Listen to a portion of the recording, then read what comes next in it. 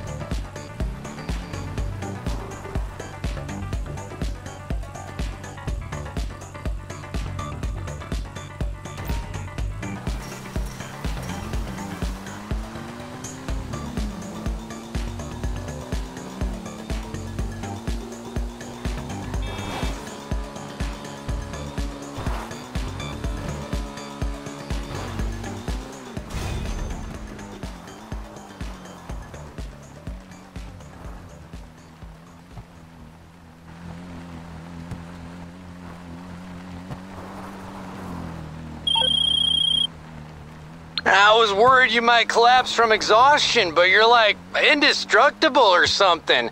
Go take a nap. I, I got some of Lab Rat's super benzos if you need them.